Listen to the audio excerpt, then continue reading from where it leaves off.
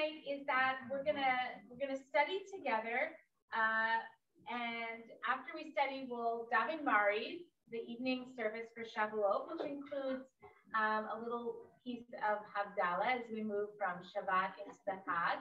And then there will be further study opportunities. So Deborah, you're still gonna hold space here. Anybody wants to stay with us. Right. For anyone who wants to stay, there will be learning that happens in person here. Um, for those who are joining us in Zoom, you will also be able to continue to stay on and learn with those folks here. And then there is also the YouTube link that is part of our conservative movement, USCJ's ongoing learning, which I think they have scheduled all the way at least until 12:15, if not um, further on into the evening, which you can grab from home. So those are, that, those are all the options. All right. So um, the tonight's uh, lesson that I that I want to share with everyone, the text that I want to share, I titled "Sticks and Stones May Break My Bones, but Words Can Never Hurt Me," with of course the question mark. Um, welcome, welcome. We're so glad you're here. Here's the text. Great to see you, Inbaris, and welcome. Um, feel free to grab some dessert. Don't be shy. So, of course, it is a very Jewish thing that words matter. Words create worlds. Words uh, can hurt. Words can can build extraordinary things. And so we're going to look um, very specifically at words. And we do this often at, during the Dvar Torah on Shabbat in the sanctuary, where we really take a close look at just a couple of words and see what is buried beneath. So that's what we're going to look at tonight. And the text from for tonight, the main text that we're going to be building on is from Leviticus. It was actually just a couple parshiot ago, maybe two weeks. And so this is Leviticus, let's face it, uh, it's a very legalistic text and it doesn't have many narrative portions. You might consider it one of the more boring um, books of the Bible, but hopefully we will um, bring it to light with this very relevant ethical um, text. After all, we all use words. Um, and my hope and prayer is that we emerge from our learning tonight just ever more ever more aware and sensitized to the words that we use. All right. So would somebody be willing to read this verse, the first verse on the page from Leviticus 25, 14? Fine, great. When you buy or sell merchandise from your fellow, a person shall not exploit his brother. Fantastic. Okay. So already um, there have been laws that have been set out in the book of Leviticus referring to the idea of having um, proper weights and measures. You might remember that from Leviticus 19. It's a very famous section. It's part of that portion that we call like the holiness code, um, which includes, of course, love your neighbors yourself. There's already a lot of material referring to the idea of doing honest business. So when this comes up a couple chapters later, the rabbis reason that this particular kind of um, financial exploitation probably has to do with something a little bit different. And the rabbis um, consider this to, to sort of be the, um, the softer crime of taking advantage of a potential business partner's lack of knowledge. So think about this in your own life. I know there have been many experiences uh, since we moved to Raleigh where I was doing something the first for the first time, like buying a house or buying a car for the first time. And anybody who's done that for the first time we're extremely vulnerable, right? There's so much to know about that particular kind of transaction. Uh, it would be very easy to take advantage of somebody in, in that sort of situation. All right. So we're looking at this language. I translated it here, um, and I, I didn't make this up. This is one of the, the translations. Al tonu, which means not to exploit. But that's what we're really going to focus on what is this thing that says don't exploit? What what's um, what's the full connotation? What's the full meaning that we can extrapolate this? Okay, so that's part number one. Any questions so far? I'm looking at the word fellow, Hmm. and I'm looking at the Hebrew for fellow. Um, I'm wondering whether this means you have to treat, you know, people in your own, you know, what, what's the range of that? Can you, whom can you treat badly? Or, or can you treat, I mean, is it, in other words, is it saying, is it saying that there is a certain group of people you have to treat properly? Yeah, that's a great question, and I'm sure it does in the text. I don't know it offhand, but for example, when we learn um, you should love your neighbor as, your, as yourself. There are many different understandings of what is your re'ah, what is your neighbor, and what fits in. What are the confines of uh, of that? Let's assume, for the purposes tonight, that we should we should apply this broadly um, that, that we should extend this to the furthest reaches. But it's a good question. Yes, Larry. I think when it goes from fellow and then says brother, Mm-hmm. I think it means treat a fellow like he was your brother, so that you treat your food. Beautiful, beautiful, absolutely. So we we could look at this. Um, are you saying like you're the the first is sort of a more general, and it's saying don't let this person be sort of anonymous to you. You should treat him as if he was your brother. That we're ultimately we're all family. I love that. Beautiful, great. Anyone else on that? Yes, Jonathan. I'm also thinking of, um,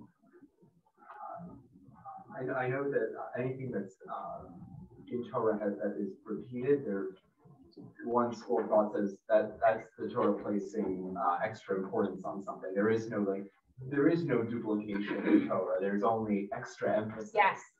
And I don't know, I, I think that there's, um, enough like, um, um, there's enough like uh and, like memory in this text of like of earlier patriarchal matriarchal narratives when um business dealings were uh you know more fraught with uh complications that I don't know I, I see the I see the exploit I see like I can think of examples of exploitation in my mind. I don't think it I'll be curious to what people think of when I think of that word, but I can think of plenty of examples earlier on where maybe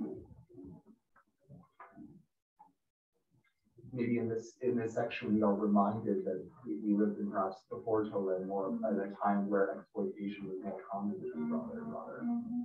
Great point. And I want to build on what you said specifically that there's no, this assumption that there's no um, duplication in words, that when words are repeated, they mean something else. That is a core rabbinic concept. So just a couple verses after this first verse um, that Bonnie read, verse 14, um, we see it repeated again.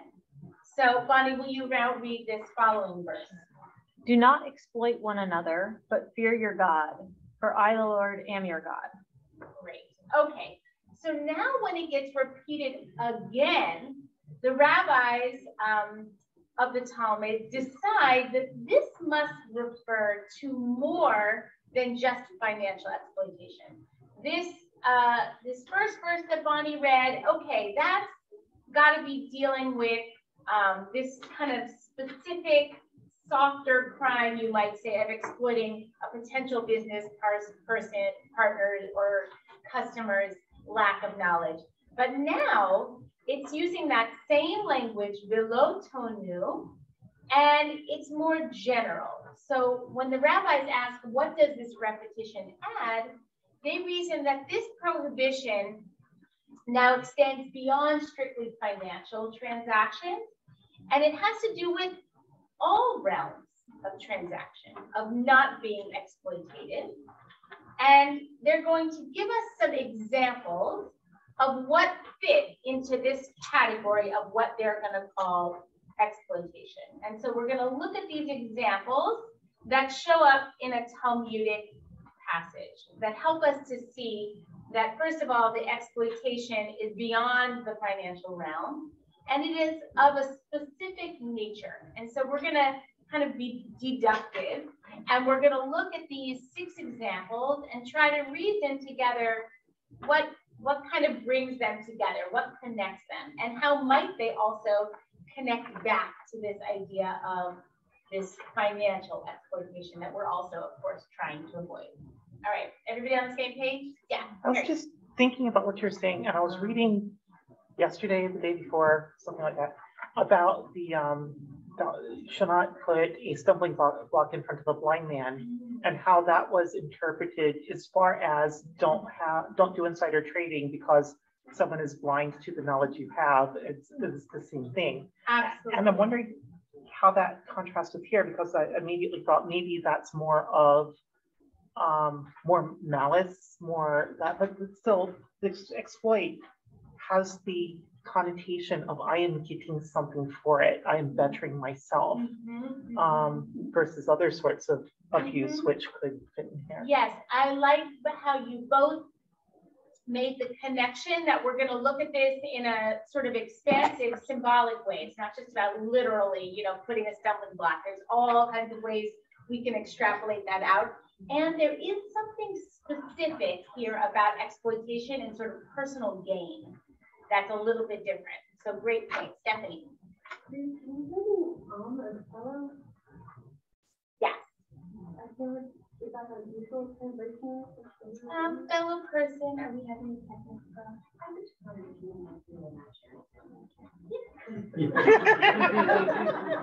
Great. Is that better? Okay. I think so. Okay. Um, it does mean people, but it could mean, um, fellow person. Yeah. It's just another, there are actually a lot of words for fellow, um, which all have slightly different connotations, but I can't really speak in a scholarly way to why that one is different. I don't know, maybe the Imbaris who have He- Hebrew background could say why that, what the connotation is of, um, Amitecha. No? Okay, great, that makes me feel better. There. Um, I think that the important point here is they bring fear to God, so before, it's like, don't be with to another person, but here it basically says you are sinning against God, that it's a sin rather than just that. it's- Absolutely, fantastic. And we see this also just um, drawing our memory back to Leviticus 19. We saw this with a bunch of mitzvot that come out in that um, section as well, where it'll say, you know, do not, uh, are we better with the camera? Okay, do not hold a grudge, you know, I am the Lord your God. And it's, it's a, both a reminder that you're not just sinning against the other person, there is a, a divine um, impact consequence. And I think there is an assumption, and we'll get into this a little bit more, that it is possible that you might think you could get away with this. You might think that you could do this form of harm and it would go unnoticed. And this line at the end that comes to say, I am the Lord your God, is there to remind you it will be, the impact will be known, felt, experienced in some other kind of energetic divine realm. Eden. And a perfect example of this is a shidduch, um, where you make a match and there's something about the bride or groom that the other family wasn't made aware of, you know, someone uh, suffers anxiety or depression or has some kind of personal hygiene issue or or whatever it is. The rabbis were very practical. Yeah, but, yes. but, I mean, but it's happened after the marriage and the other family comes and says, well, you didn't, you didn't tell us, Disclose. we didn't know. Mhm. Yeah. Yeah, absolutely. It can happen with people and relationships. Eric, did you have a comment? No? Uh, Bonnie? I have a, a question just before we move Sure. forward, as we're clearly about to dive deep into the word Yes. exploit. Yes. Just, I'm like on the sciencey side, so just help from all the English academics in the room of definitions, because I only know this word as to take advantage of. Yeah, I mean, Is there any other Anybody Sense. Want to jump in? What, what you, what you accomplished? Um, there's a dictionary across the hall. Yeah. Look up the definition. Somebody wants. It would make more sense to look up the definition in Hebrew. Yeah, yeah, in Hebrew. Uh, I'm not sure that the exploit is the The right right word, yes. word. There are a variety of It's words. more deceive. Leonot, Yeah. leonot in Hebrew means like, you know, deceive someone. When you have the knowledge and you hide it from somebody, You're taking advantage. you're taking of it. advantage of it, but you're deceiving them. Great. So maybe That's a, that's a beautiful, in a beautiful Thank you. nuance. Yes, I'm so I glad you, um, I'm glad, glad you added that. All right, who would like to read, um, from the Talmud? It's all in English. Um, okay, Ni- Nina, will you read in the back? Sure. All right. All the way up to fifth or? Uh, yeah, we'll take it really slowly. So just the first section and then we'll go one at a time. A person shall not exploit their fellow. The Torah is speaking about exploitative speech. How does this manifest? Okay, pause.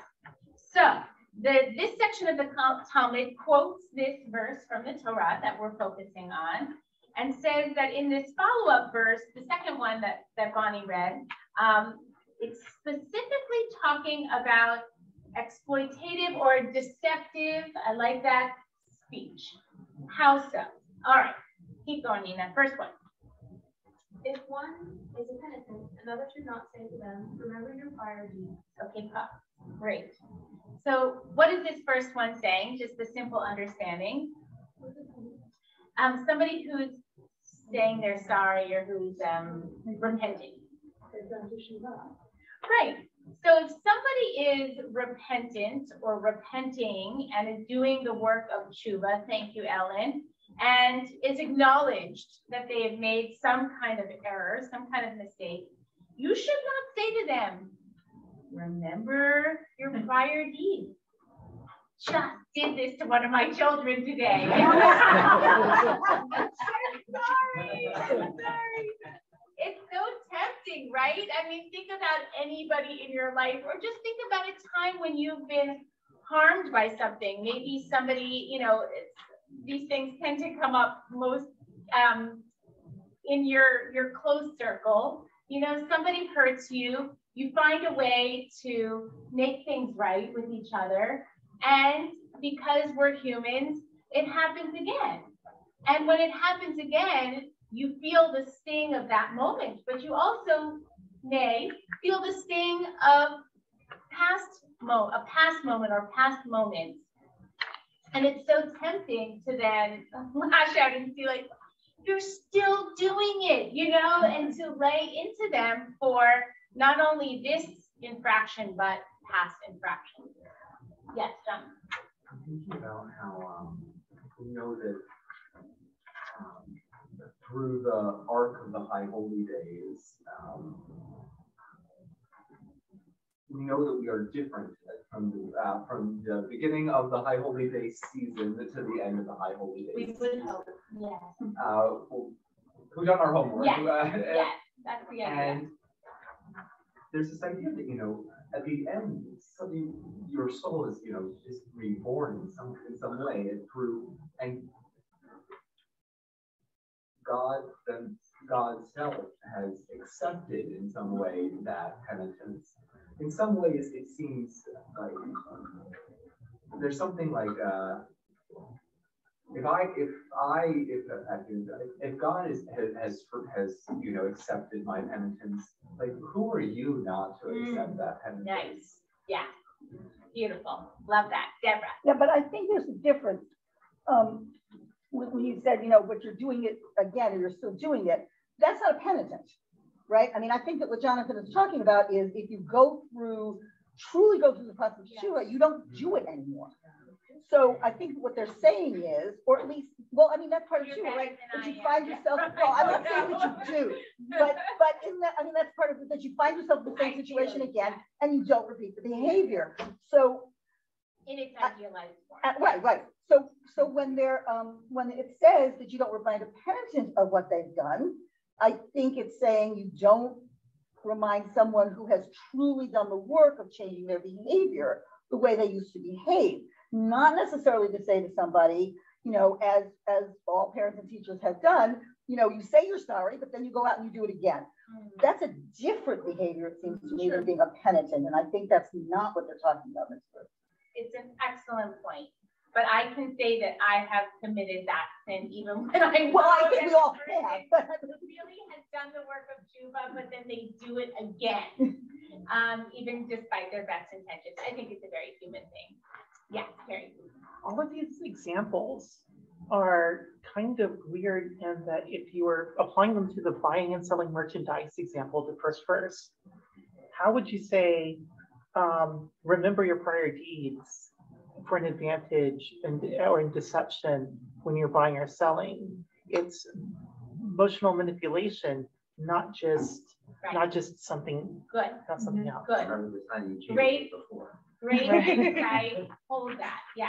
Well, I was just gonna comment to that, because to me, the rem- remember your prior deeds, and especially with buying and selling.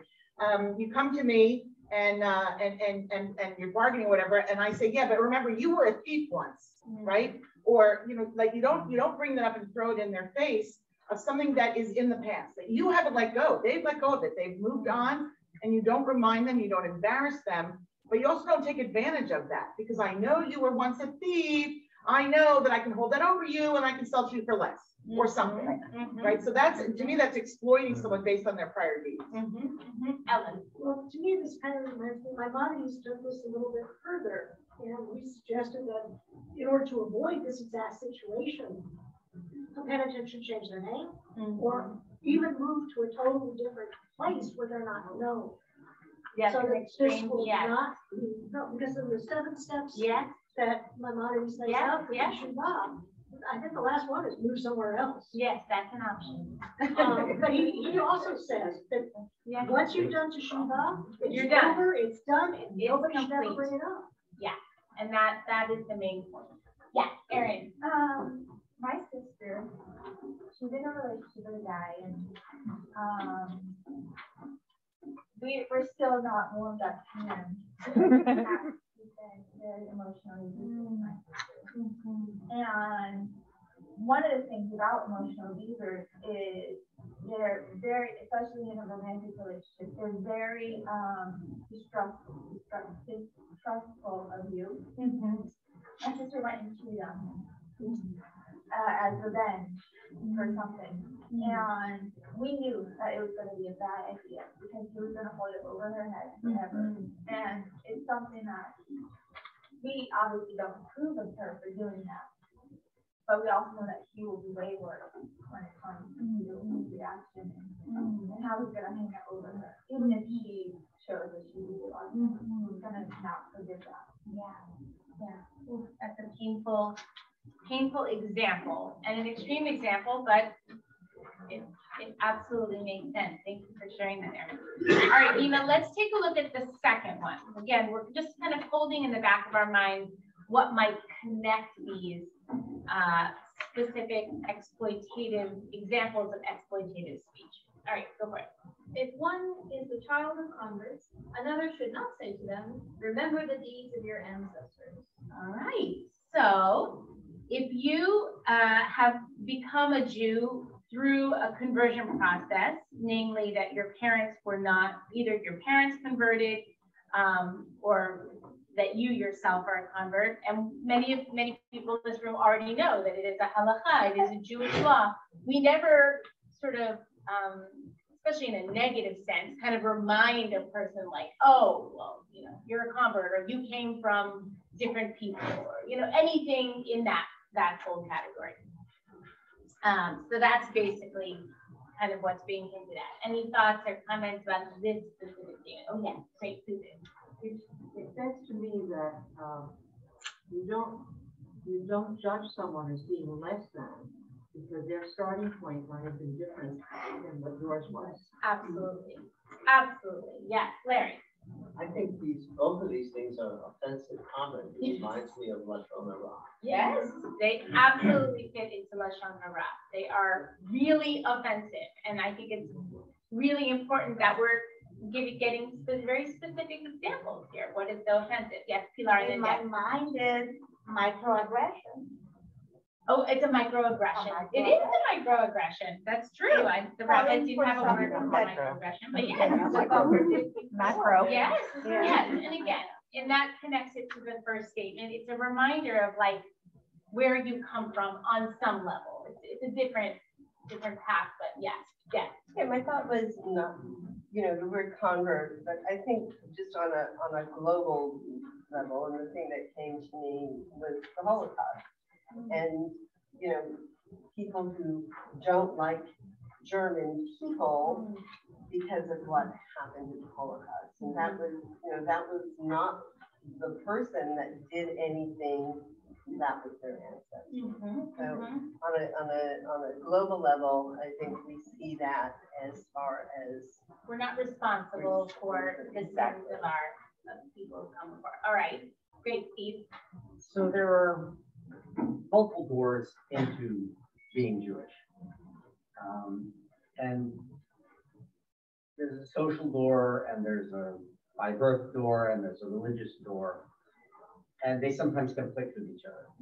Um, and yeah, we have the whole who is a Jew argument from various things, but I find that I'm, I'm okay with that. I came in through a religious door and, uh, and I'm, I'm happy with where I am. I struggle a little when the, the milieu or the discussion or the topic is Jewish peoplehood, nationhood, belonging. I have to struggle to justify myself a little more there. Mm-hmm. Even when talking with Jews who are not Oriented. religious at all, Yeah, say, yeah, you know, and yeah. you might have people argue against them on, on that, uh, front. Um, It's very, but that's there's, tribal. there are,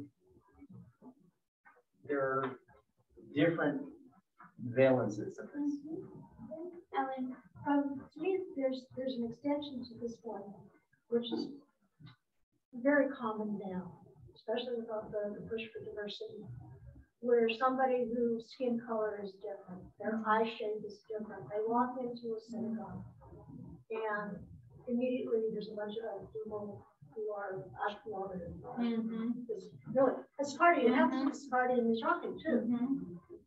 Where did you come from? Where did you grow up? Mm-hmm. You know, why are you here? Because you do not look Jewish. Mm-hmm. Which is also my little question. Yes, yes, And it's something that I think all of us, regardless mm-hmm. where we come from, need to be aware that Jews are all kinds of people.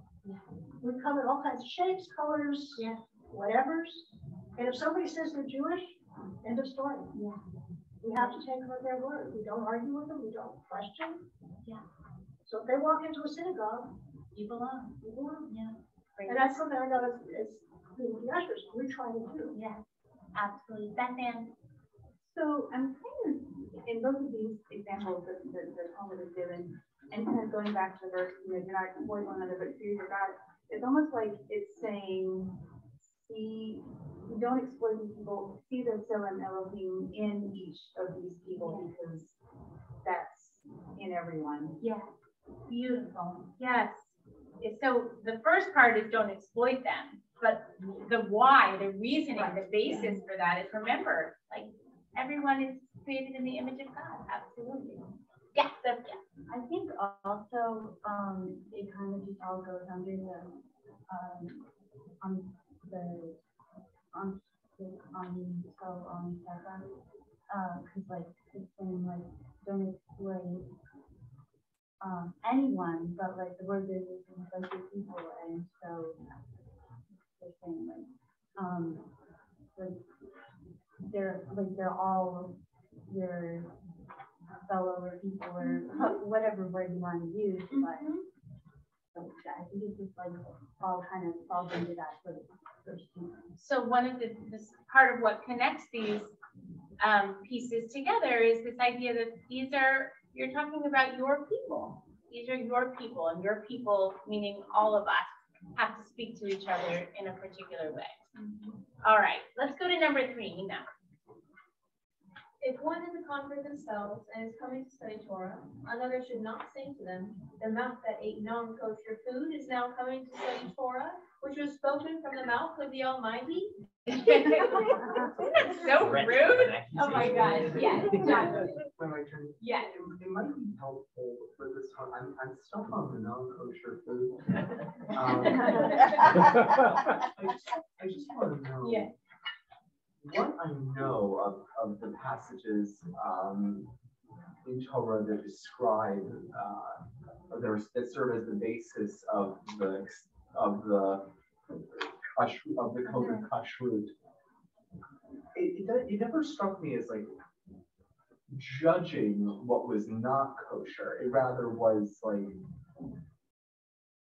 God declaring, you know, establishing that kind of division and, and, and establishing the The expectation. expectation that you shall choose, exercise that mm-hmm. choice and, and follow that. Is there a judgment in this case? Yeah, I mean, this is just an insult. It's just a, it's a, it's an extreme insult to say like, oh, look. But you could imagine this. I mean, even now, right? Because all of us are inconsistent in our practice. I think it's fair to say that. Probably few among us, well, okay. My, I am, I could not stand in front of you and say that my practice is pious across the board. I have things that I am particularly meticulous about in my spiritual life. I have things that I am less meticulous about in my spiritual life. And I just have all the mistakes that I make on a regular basis. But um, I, you know, this would just be, there are people who, let's say, okay, they go out and they'll eat a hamburger, but they're gonna come to Torah study, they'll eat a hamburger at McDonald's and making up. Not, that that's the worst thing in the world. And, but they come to shul to study Torah on a regular basis. So far it from me. Hamburgers, cheeseburgers. Okay, oh, the cheeseburger, there we go. Let's, let's up the ante a little bit, okay. So, I mean, that would be horrible, even just forget about it if I even said it, but even to think like, who are you, that cheeseburger eating person, to then come and study Torah? You know, that that somehow you're, you're not eligible because of your, you know, indiscretion in another area of religious life. All right, Pilar. So, um, basically, my, my thought is, yes, that is how it should be. Yes, it wouldn't matter if the person is convert or not, but if, are you judging the same, someone who is eating hamburgers and come to study Torah? But I've heard it many, many times. Oh, but they're born Jews. But if you're a convert, is even Even worse, more, Because then your Judaism is judged. Yes. And Yes.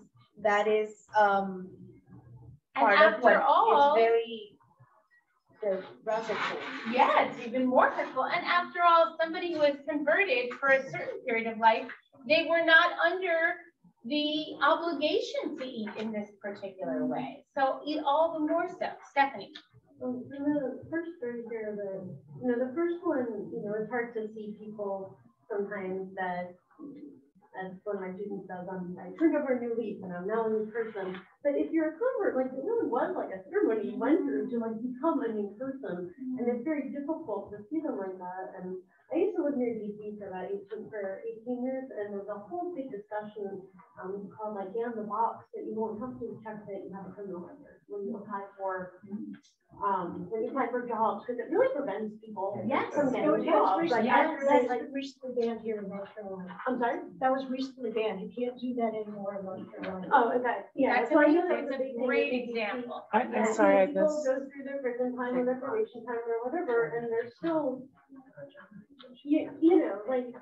Be subjected to, reminded, Like, the yes. consequence of this forever. Yes. And so, I I don't know, so I kind of, like, this idea that, like, you, you have to have a hard time seeing people. Letting people person. grow and, and change. Absolutely. Great. Deborah and then Amy. Well, I, I think the other thing that I find disturbing about this is the fact that there, I think they're macroaggressions, not microaggressions.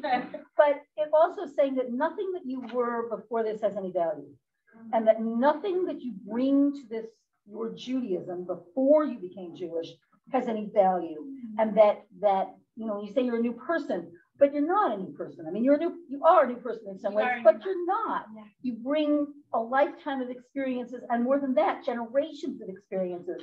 And when you say something like that to a person, you're saying, none of that matters. Mm. None of that, not only does it matter, but it has no worth. The only way that you, the only worth that you have is the worth that you gained since you've become a Jew. And, mm-hmm. and I think that's, that's also an incredibly horrible thing to say. And, and, I mean, if we truly believe that all people are basically Elohim, you were basically Elohim before you were a Jew, right? So I, just, and I, and I've heard people say that. And, and I think it's, it's just, mm. I- I- Yes, yes. No, I love how you lifted that up in even greater relief. Yes, Amy. I, I just want to comment, one of the things I love about these texts, um, so this is from the Babylonian Talmud, right, which is, you know, discussions, I don't know, two hundred plus or minus years from the year, mythical year zero, and not written down to like six hundred, you know, and my belief is that the reason the rabbis were discussing this is people were behaving this. like this. So, and, and we, and we still do. I mean, I think human beings by nature can be judgmental, can be nasty, can be unthinking. And one of the things about eh, probably any religious code, but certainly Judaism, is that it's saying to you, no, it's not necessarily natural to be a good person. You have to work at it. You have to be mindful. You know, the whole issue, I always love this when, when they say, well, children have to be taught to hate. No, they don't. If you ever watch a room of two-year-olds fighting over a toy, they have to learn, then be taught how to cooperate, mm. right? And so I think that this holds, it's, it's still paramount two thousand years later that we have to constantly remind ourselves of these issues because our nature as the human species is not to be so nice. Mhm. Yes, true. Yes. Larry. I find it a little ironic that probably the people who would do these infractions are usually people who are more religious. At least outwardly. Yeah. I think, I think, part of saying that part of that is, I'm thinking of someone in particular whom I know, who has done this, who sees herself um, as being better than. And what did they live like to live? Not someone that any of you know. Yes.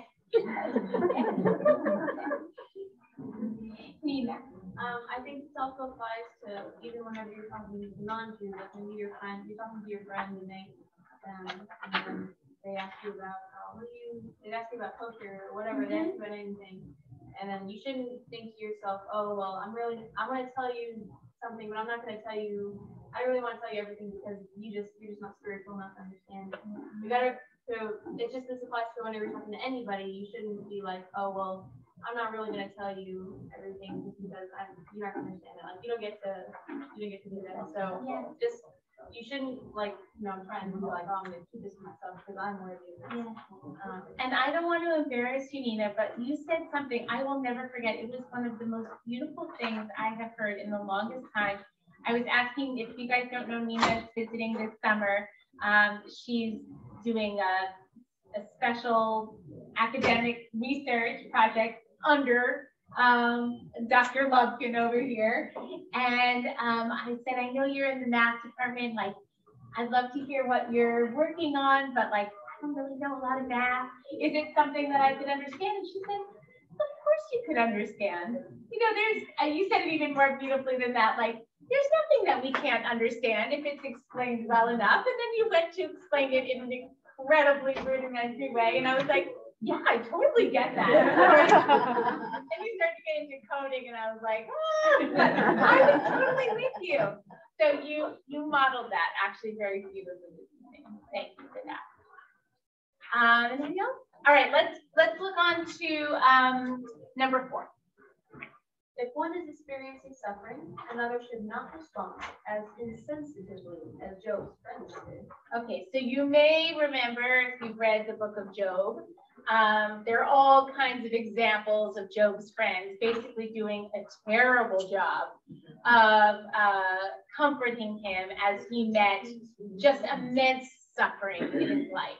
Um, and there are a number of examples, things like, you know, who, who remembers a specific instance? you, you obviously weren't uh, observant enough. Yes, yes, you, on some level, you must have deserved this because of your, um, lack of piety, yeah. Yeah. That was, Jonathan's remembering It another would just, one. no, it just, got- it would get to a level of like where, with like commentators who even discuss whether like the friends were even like, not even friends to begin with. Yeah, right? seriously, that's not how friends treat each other, but, yeah, yeah, absolutely. Okay, number five. If there were, if there were donkey drivers asking him for feed, he should not say to them, go to so-and-so that sells feed, when he knows that person has never sold. Okay. That's the deception part. Yeah, Yeah. clearly. Absolutely. Yeah, I mean, so Mike's saying I don't totally get it. Does somebody want to put it into other words? Yeah. Well, in in contrast to some of this, like other, other, we were talking about exploitation and, know, potentially gain, one person gaining something as a result of it. The others were talking about putting, you know, sort of the micro with macro aggressions. I think it's sort of trying to establish a position of superiority by denigrating somebody else. This one's pretty different in that it's not, there's no benefit. I mean, this person Mhm. needs to eat for the donkey. I'm not gonna to- benefit you to send them to somebody who doesn't have it. It's really just being mean. I mean, for like, just to for the sake of deceive doing them. it, it's, it's actually, just, yeah, like a pain to enjoy by knowing you send this person on a little bit. Yeah, yeah, Mary.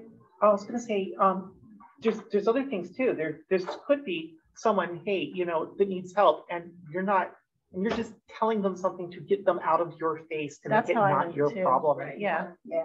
Um, and that's, that's something that I read into this one, Mm. um, or, or to create a more desperate situation later. Yeah, it's getting worse and worse the more I think about it. Yes, Mike.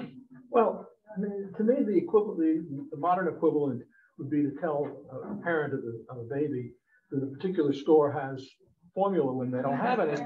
But why would you, how could anybody do, I mean, I can't imagine anybody doing that. I, I mean, I can imagine cheating somebody and, and a whole bunch of other things here, but there's absolutely no reason why I I think it, that. I think an explanation might be, um, not that they're, well, yes, this is unkind. But perhaps when they're asked this question for help and they don't know the answer, rather than taking on that work themselves to try to help find the answer, they just send them on their way. Well, you could just say, I don't know the answer. Well, they could, they don't, but they don't want to admit they don't know. They don't want to figure it out. They just. Time to call customer service and they Oh, I was can't help you, just so gonna they pass you that. on to another department and they can't help you, so they pass you on to another department To get you back. in all touch. day. Yeah. Yes, I had a That's six-hour it. experience with health insurance last week. That was something like, Wow. that. yes, yes, yes, Susan. And also the other part of it is, it takes courage and self-confidence to be able to say to someone, I'm sorry, I don't know. Because if I say, I don't know, then you might think less Less of of me. me. Mm-hmm. Mm-hmm. And I don't want you to think less of me because I'm better than you are to begin with.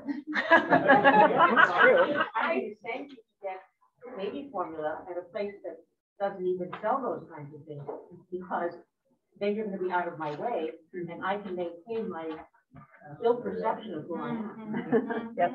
They may come back and have something to say to you later. Oh, you must have misheard me. If, I- if I read the text again, it, it really clearly says that it's not the person doesn't know and is just telling him, okay, go to that store. But he said, when He he knows knows that that. that person has never sold, he, he literally knows. Yes, it's bad, it's bad. Yeah, the other question I'm, I'm, in my mind is it says that he never sold, not that he doesn't have. So, uh, you know, that, that he's sending it to a person who he knows has not in the past been willing to, to give up or share of mm-hmm. what. And he might even have it. And have it. Might not Or even. it could be some- A totally different merchant, instead of a feed merchant, it could be Maybe for a clothing merchant. Harry, What if the harassed person is the non-merchant you send them to? What if it's you you get, you're sending someone, someone who's going to take up their time saying, hey, will you send, will you sell me feed? Mm, I, I, I don't sell feed, right? You know, I could be out here selling my um, lamb chops that I'm selling, but you're here distracting me, you know? Right. Yes, yes, it's good. All right, you're, you're on to it. Nina, read the last one, please. Rabbi Yehuda says, he shouldn't even look too much at merchandise at a time that he doesn't have money. And this is something that only the heart knows. And about anything that only the heart knows, it is said, you should fear your God. Stephanie. Yeah, I have a friend that like recommends that I go and look at something in the store and then like buy it from one of the stores. And- Mhm. So Stephanie's talking about, um, you know, the, what is it? False hope. False hope, right? So there's a whole category of Jewish law in which we're supposed to be very um, careful about, like walking into a store where we have absolutely no intention of buying and sort of giving hope to the store, uh, the seller that we're actually interested. And that in and of itself is, it is legal, but it's wrong. It's, it's immoral. Yeah, it's like going to Barnes and Noble to look at books, decide, decide what you want, buying it off Amazon where they don't have the overhead costs. But one different thing is that nowadays with business cards and websites, if it isn't like an individual craft person, you don't have money now, you might look at this, um, and you want to buy it later, so you take your card and buy it from Right. later, But that wasn't an option. Well, I think that that, that a little bit touches on this, this number six, is like, on a certain level, some of this is, not so clear. It's really about kind of what you know on the inside. What are, what are your intentions? And your intentions might be okay, you know? There are plenty of things, I don't know, when I've gone, for example, to buy a car, big purchase, like, I don't necessarily go and buy it on the spot. There's, there's a research process, you know, that that's not wrong to do. Um, but I'm serious about it, and, and that's something you can know in your heart, Kathy.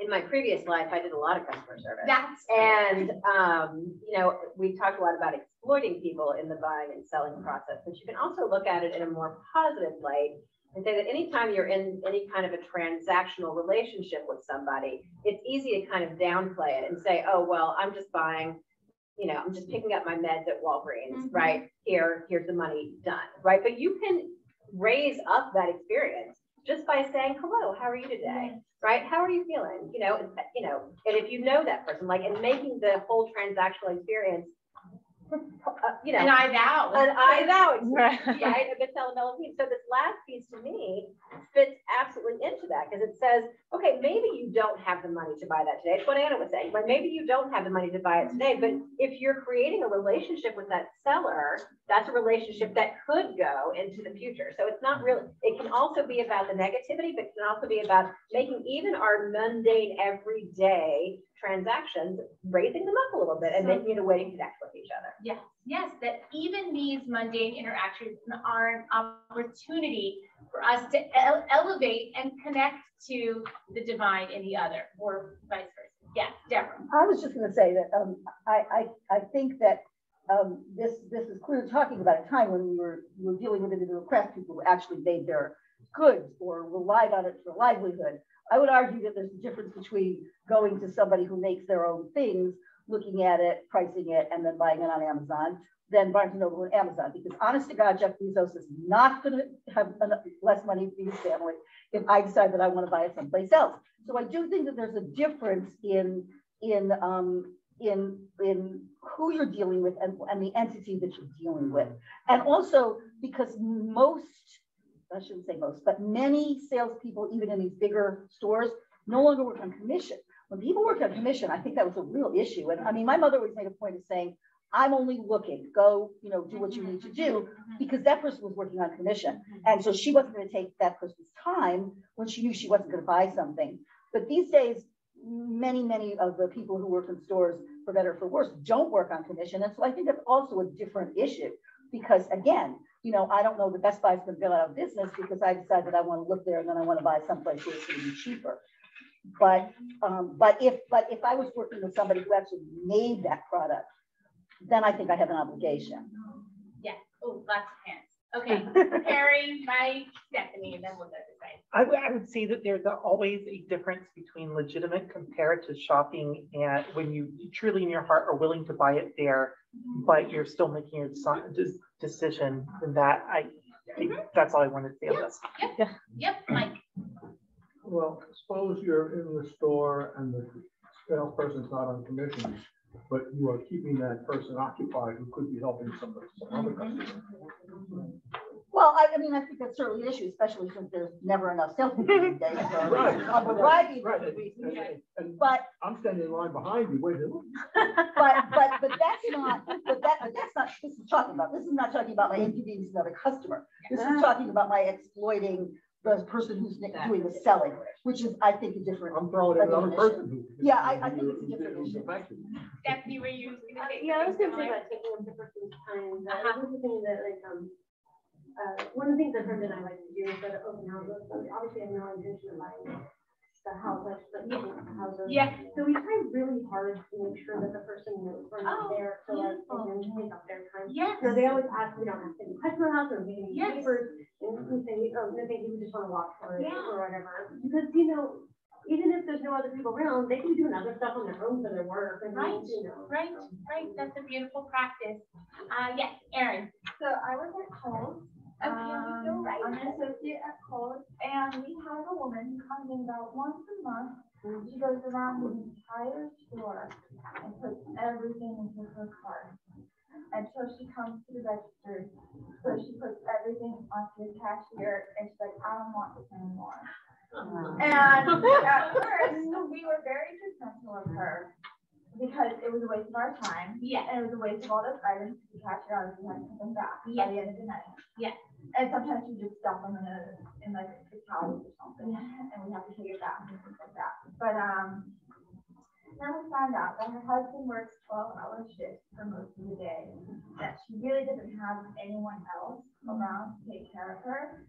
So she comes in to, um, basically have someone to talk to, Experience.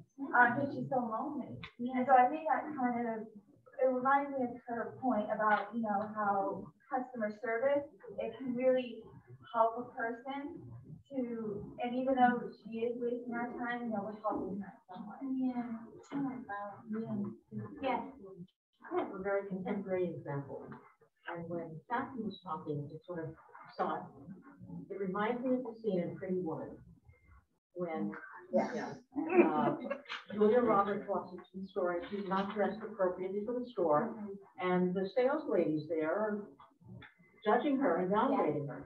And then when she obviously puts herself together and looks the role, and she walks back in, she's reminding them of what they did. And they are speechless. I love what she said. Big Big mistake. mistake. Wouldn't that be a violation of number one here? No, because they were never. That's, that's right, you're right. Um, okay, so if we look at these six examples of exploitative or really insulting speech, the first four statements I would say on this list would, would be cruel, they're cruel, but they're not necessarily misleading.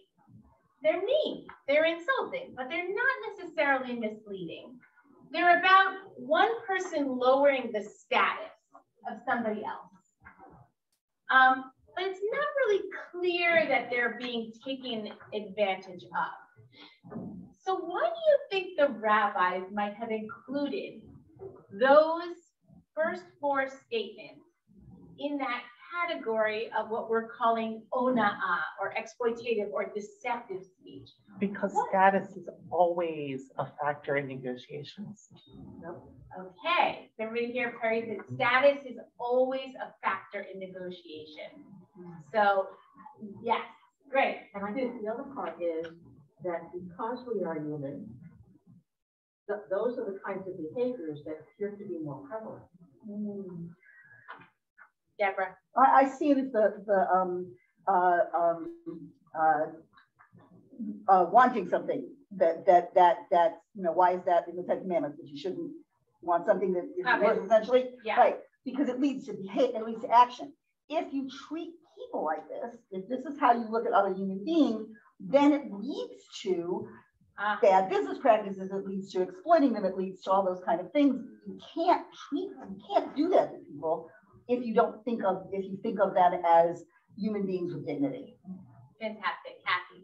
Um, yeah, it's about, uh, you know, all of those first four things. It's about meeting people where they are, where, where, whatever they present to you. It's about meeting people where they are, where you, you, can- and you can't have a truly even playing field unless everybody comes, it's, you know, it's exactly, like status does matter, right?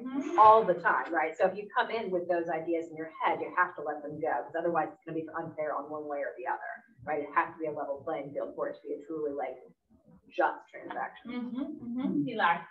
I think it also, um, just piggybacking from them, um,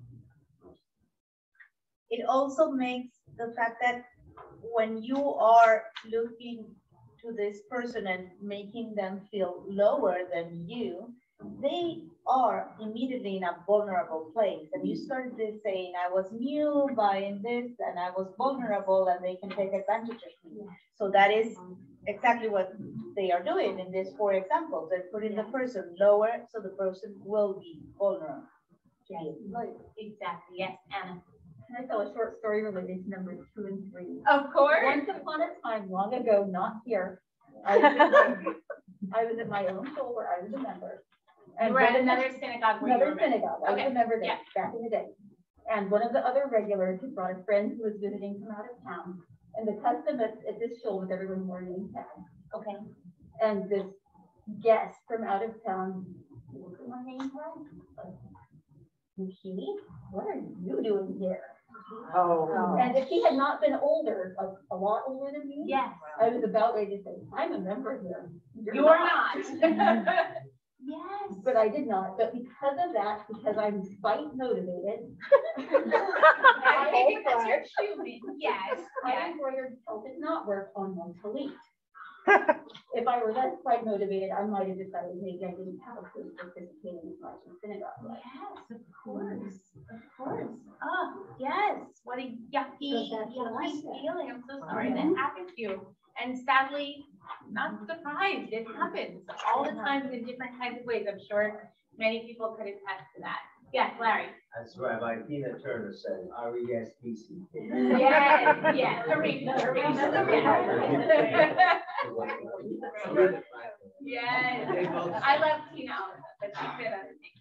Um, okay, so yes, I want to really just emphasize um, what Pilar said. I think there's a really strong link that's being made here between financial and verbal manifestations of exploitation because the perpetrator ultimately is in possession of a similar mindset. And there can be a similar impact, therefore, um, on the heart of the victim. And Rabbeinu Bachya, who's a, a much later uh, rabbi and offers a commentary, he was from Spain um, in the 13th, 14th century. Um, he's going to give another explanation, and with this, we'll, we'll kind of bring it all together. So, can I get another reader? Somebody else will read? Steve, go for it. I'm volunteering you. A person should not exploit their fellow, and you should fear your God. This verse refers to exploiting language. A person should not antagonize their fellow or give them inappropriate advice. And our rabbis of blessed memory said, all of the gates of prayer can be closed, except the gates of exploitation. And the reason why these gates stay open is that the exploited person is exceedingly upset and is distressed.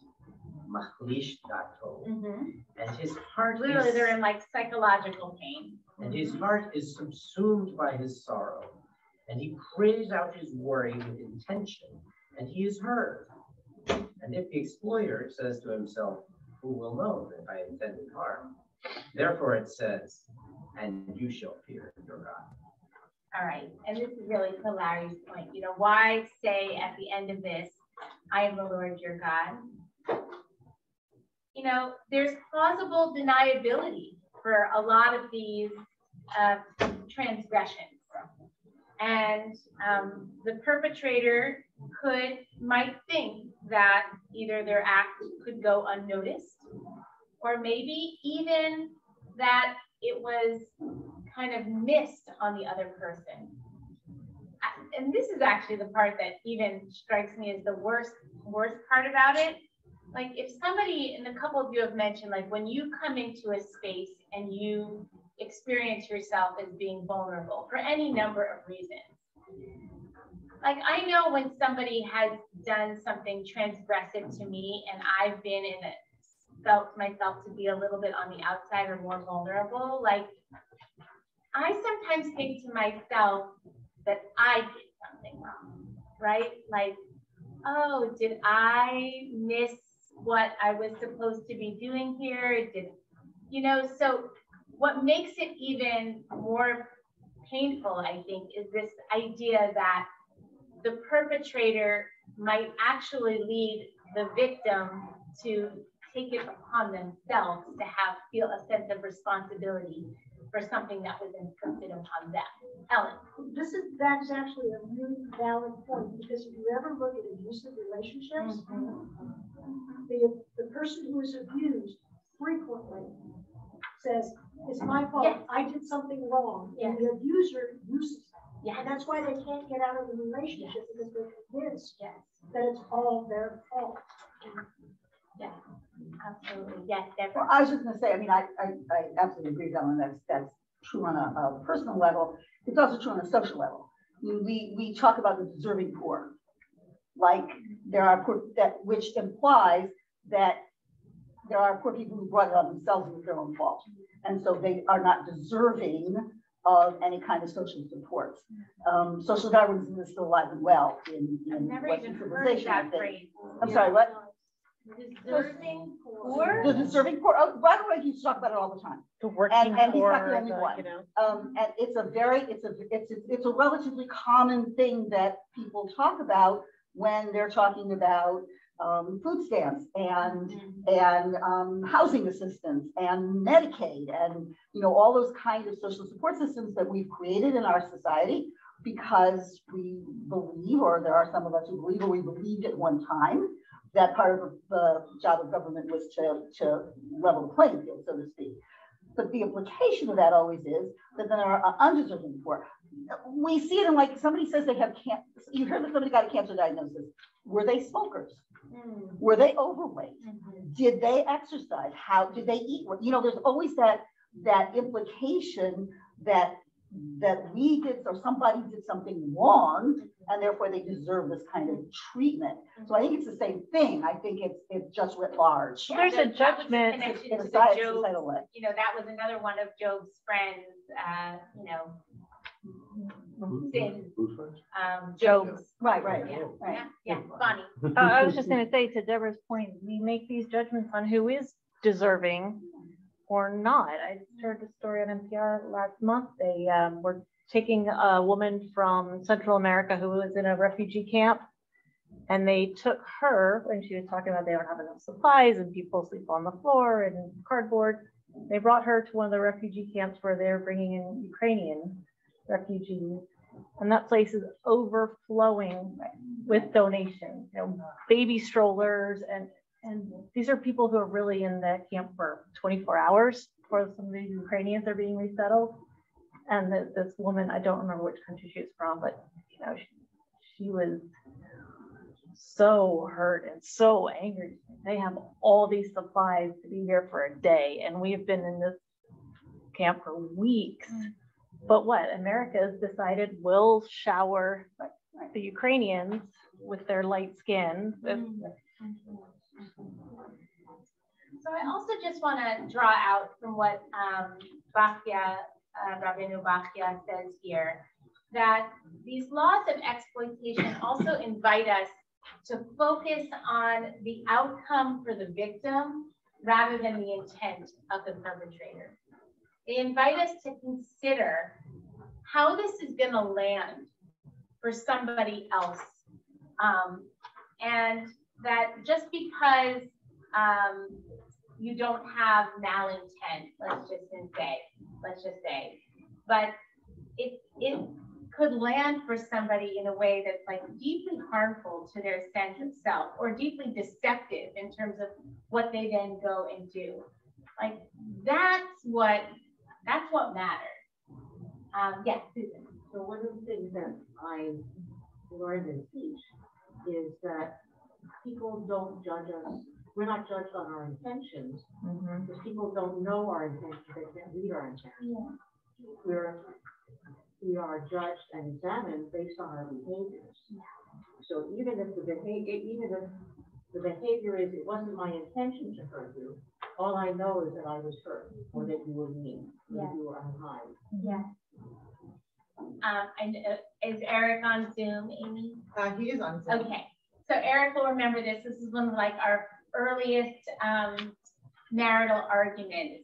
And I had hurt him in some way, I cannot remember how, but I was, it was just unbearable to me that I had intentional, that, that I had hurt him at all. And the big argument that ensued from that is, but I didn't mean it. I didn't, you know, there was no part of this that I intended, for. I understand that that happened, but I didn't mean for that to happen. And I'll never forget, and now it's 25 years later and I'm still um, recounting the story. He's like, I don't care about your intention. I need you to know that what you did hurt me. And that's what matters. And I was like, no, no, no, but the intention has to matter. Like, it doesn't, it doesn't. When it comes to inflicting harm on someone else, it doesn't matter. I mean, it does on some level, but, but what matters more is, is just the impact. Because, yeah, Emma could not see, could not see whether you intended or not. That's true, and even when I explained it, it, it was, even when he then could be able to see it, it still hurt. It still hurt, absolutely, yes, And it gets even more twisted because you have to consider the, the psychological place where the other person is. Now, Susan says we're judged on our, our behaviors. I learned that as a child and I wish it were so because I thought that meant that if I did everything right, then everything would be good for me and people would be nice to me all the time. Or- No, we're judged based on how the other person is feeling at the moment. Mm-hmm. And, and they, they treat other people around them way. Mm-hmm. And this relates to what Deborah's saying as well. We ask, oh, are they smokers? Did they eat right? Whatever. Because we're afraid and we don't want the bad thing to happen to us. And we think, oh, if only I do everything right, then nothing bad will happen to me. We want to believe that. Want to find out the other person is a smoker, will say. Right, right. And virtuous. Amy. I just wanted to comment, I mean, that's part of the formula um, during the ten days of Teshuvah, right? That between Rosh Hashanah and Yom Kippur, the line is, sometimes it's in Hebrew or Yiddish, I don't know the languages, in cards, you don't know what they're saying, but it says, uh, if I have harmed you either intentionally or unintentionally, please forgive me. And working with students, well, how can you hurt somebody unintentionally? And we would come up and develop examples. And so it's not, the, the issue is, for the hurt party, the issue is not the intent, the issue is they were hurt. And for the person who caused that, even if unintentionally, to acknowledge the fact that somehow their actions caused harm. Do I remember correctly that the sacrifices, the blood sacrifices in the temple were only covering unintentional sins? Yes, so there, there are whole categories of laws that are bishogeg, that are accidental, or bemazid on purpose. And there are different consequences for these different categories of transgression. That's how I would, that's how I would describe it generally, but you have a specific example. Well, I was thinking specifically of that because I was reading um, about the fall of the Second Temple and the transformation from uh, temple worship to rabbinical. Um, and um, and uh, prophet's name short starts with an H. Hosea? Yeah. Um, and was talk was talking about um, how the verse there talking about. I think it was actually in reference to Babylonian exile, but how to, to um, how that was being replaced with prayer, and that's kind of making me think this. We can, for our unintentional all of this is unintentional when we, you know, accidentally say something that hurts someone. The, we can deal with the lack of intent by penance to God. We have to deal with the consequences of our actions by fixing those who we've hurt. Deborah. But I think that um, some of what this is saying is you should be paying more attention, right? I mean, we we do often accidentally hurt people, people we know, people we care about, strangers, etc. Um, but I, I think that part of what this text is saying to us is, yeah, you should be paying more attention to what you're doing because because maybe you are doing this unintentionally, but that's that's not a pass. And and if you were more careful about what you said and how you behaved, you wouldn't be doing that. And and you know, I think that um, uh, we often say that. Well, I, as you said, I didn't mean to do that. So what? If you were paying more attention, you wouldn't have done it.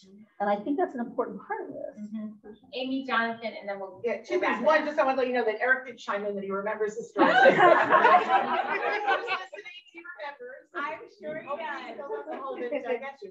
But, but it, it, it- this all reminds me of the, the line that, and, and, and try- to try to learn to say, when, when someone is upset with something you've done and you say, I'm sorry if I hurt you.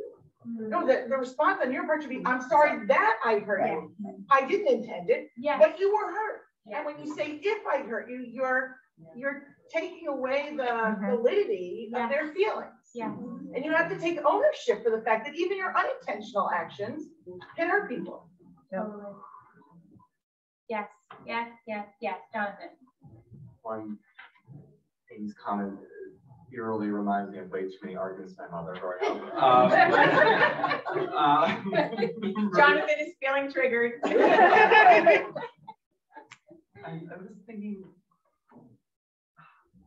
yes, the text wa- uh, en- would uh, it encourages us not to like shy away and do better about those lapses in attention, but also there is something deeply ingrained in our tradition to understand that those lapses will happen no matter what. It's that that is much as you may, you know, start the year off right, you will uh, end up uh, at some point being uh, walking blind. Yeah. Words are so powerful. So what I thank you for such a rich conversation. Um, my my hope and uh, intention was that that this particular conversation would remind us not only to be um, have an increased heightened awareness of how we use words, but also to to inspire us to, to raise our level of sensitivity in considering how they land for other people. So not only what words we choose and making sure that they come from the right place inside of us, um, but also to remember like this is going to um, this is going to land for somebody else and to be sure that we're we're really mindful of, of how we're positioning ourselves in that interaction. Um, and there's a great acronym that I was taught by one of my meditation teachers, um, Rabbi Sheila Peltz Weinberg, and uh, it's one of my favorites. And the acronym is WAIT, which stands for Why Am I Talking? And so it's a wonderful reminder, um, sometimes just to even slow down and to consider, to help us consider how, how our words will land, how we're considering the power dynamics in a relationship, how those words might be, God forbid, um, used in an exploitive or deceptive way.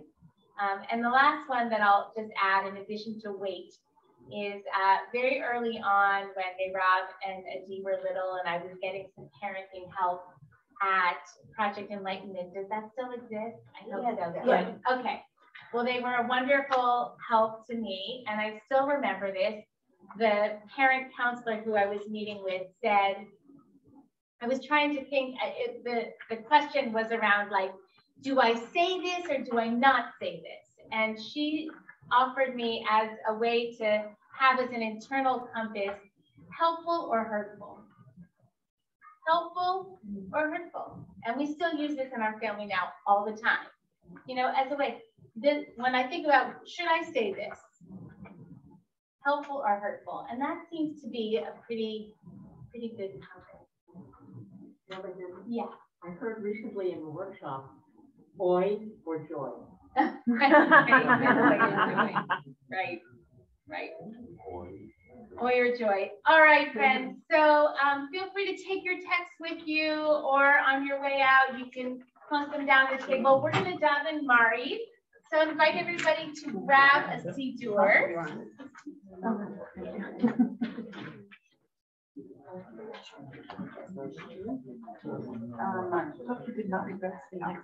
Okay, so Molly, stretch your legs. I'm getting a help out. I do. Okay. Oh, It was you. I was looking over, but you, you were busy.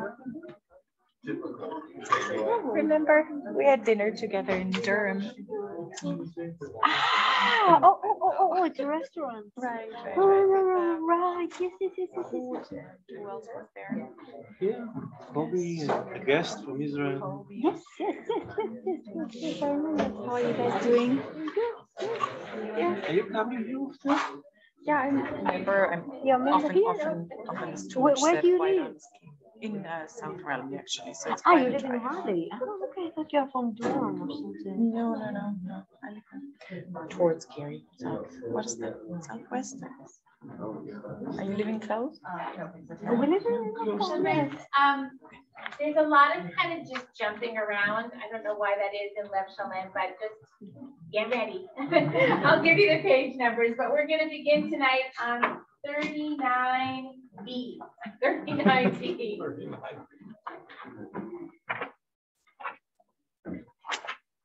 As we prepare to begin with Barchu,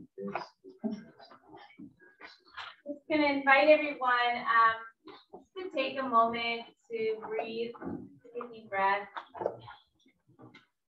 There's a tradition that on Shavuot, this holiday in which we commemorate receiving Torah, that there's kind of like, like a download of the new system, of the Torah that we've been working on, that we've been internally coding, the wisdom, the instruction that we've been cutting our teeth on, that on Shavuot is the moment when we sort of upgrade our, look at me doing computer talk, upgrade our operating system um, with the Torah that we've been, we've been cultivating.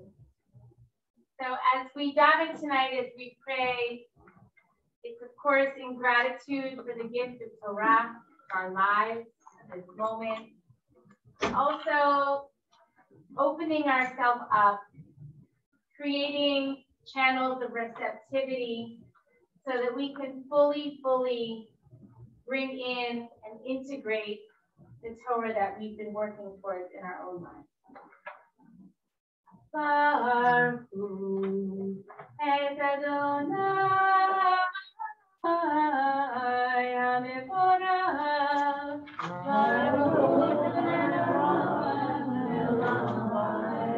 Baruch HaMevorach Leolam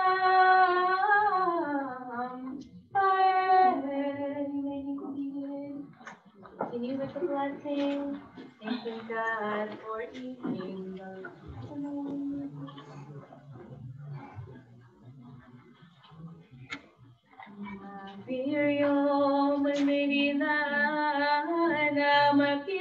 Yom ubenayna Adonai tzvaot shemo El chai v'kayam tamidim lo chazedu le'olam va'ed Baruch Adonai Hamarim Haramim. Continue thanking God for Torah.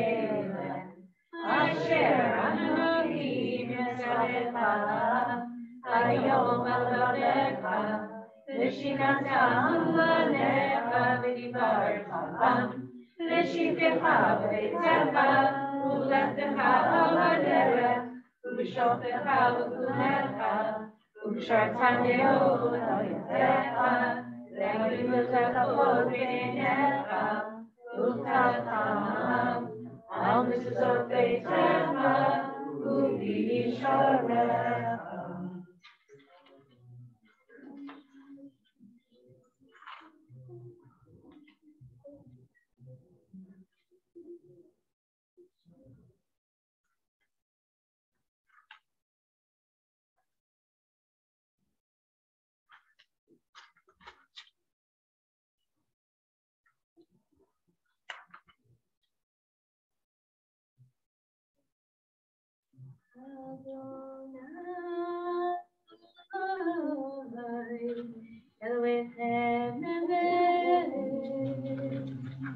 44 Malchuto Velazon Kibru Alehem Moshe Bnei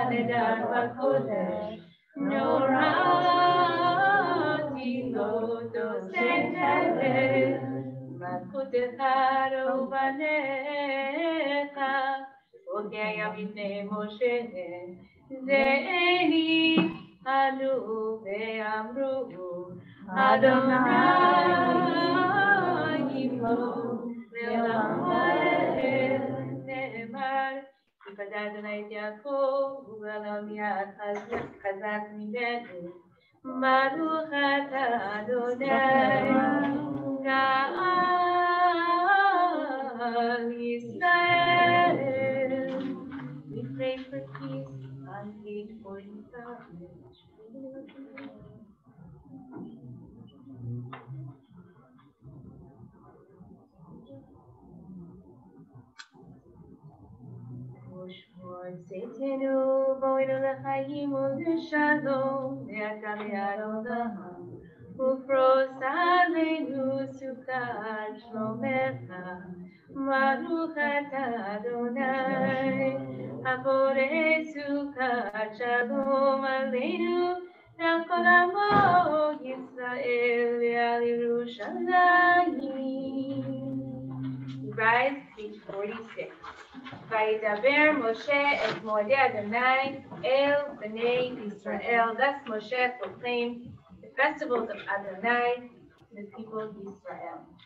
יתקדש ויתקדש ברמיים, עד יברכו ימית מלכותי, ויבואו יומכו ובארץ ישראל. Father, who begotten Calvary in the blue Amen.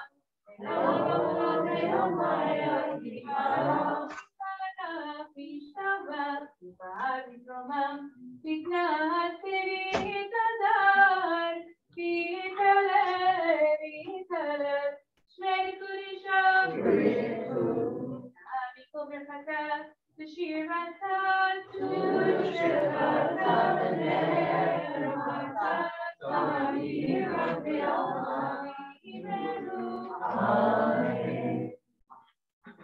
we continue now with the Amidah, the standing silent prayer, on page three hundred and six.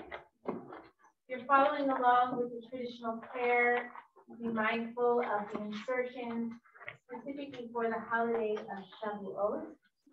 But again, take your time, and if you just want to close your eyes and consider the piece of Torah that feels most salient, most important, either that you've been working on and that you're bringing fully into your heart on the Shavuot, or perhaps some new piece of Torah that you feel inspired to work on in the days ahead. This is a beautiful moment to really meditate on that particular piece of Torah. The traditional prayers are found on page 306, and you can be seated when you're on the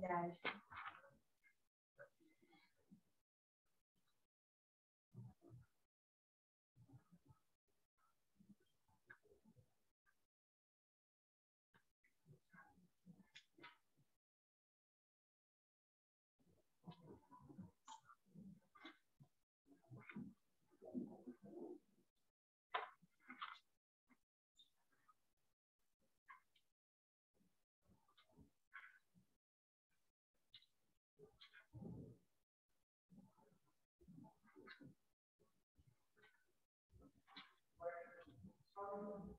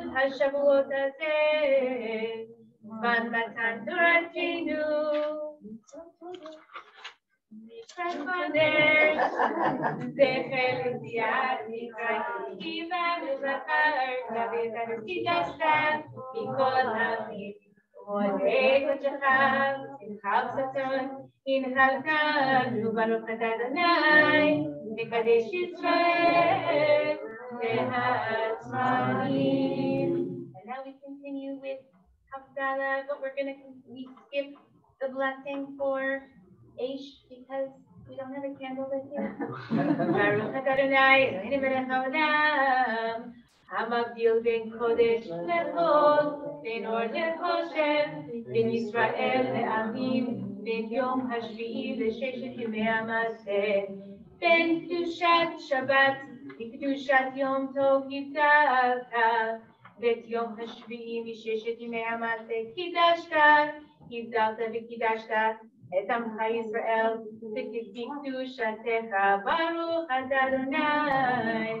המבדיל בין קודש לקודש. שהחיינו at the bottom. ברוך אתה אדוני, אלוהינו מלך העולם. שהחיינו וקיימנו והגיענו בזמן אשר. לחיים.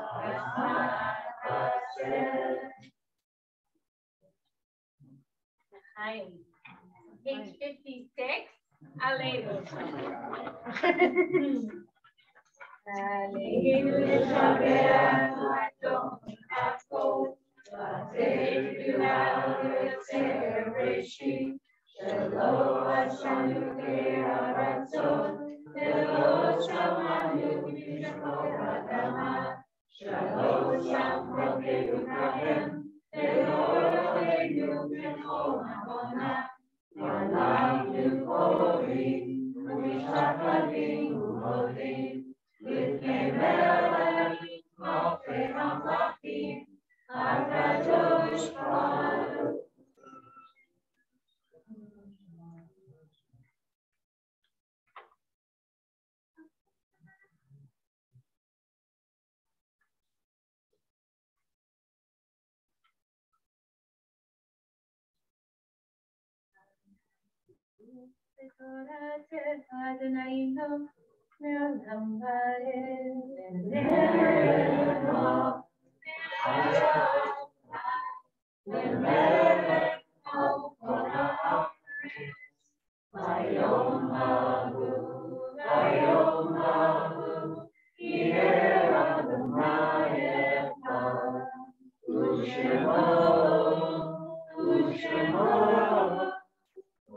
We